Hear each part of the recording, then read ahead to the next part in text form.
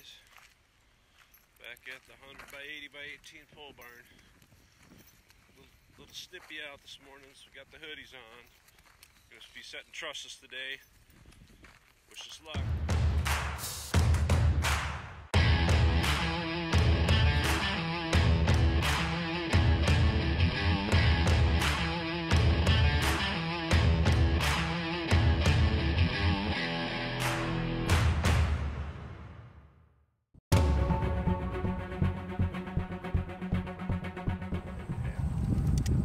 Well, and, and that purlin sits on top here. Right. So, So then we need. We, we,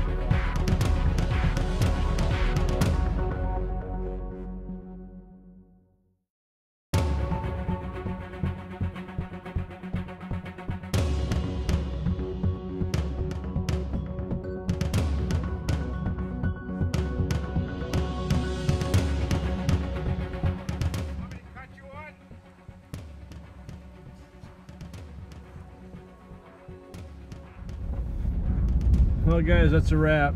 We ended up getting 12 trusses up, got all our purlins on, got some bracing put up there to hold it solid in case the wind comes up. It's not supposed to, but went pretty good. Got a lot done. We're hoping to get eight and got 12 done. So get a two more banks done tomorrow and we'll have a whip. So it's always nice to get the roof on and have that done. See you guys in the morning.